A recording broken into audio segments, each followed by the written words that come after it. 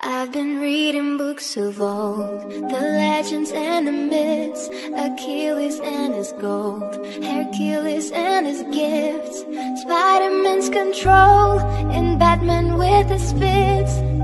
And clearly I don't see myself upon that list. She said, where'd you wanna go? How much you wanna risk? I'm not looking for somebody with some superhuman gifts, some superhero,